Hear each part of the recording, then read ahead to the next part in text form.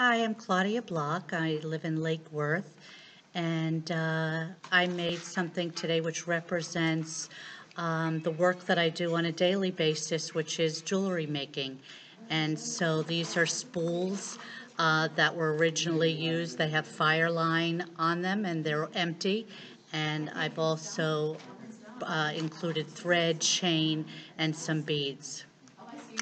And uh, meet me at the tree.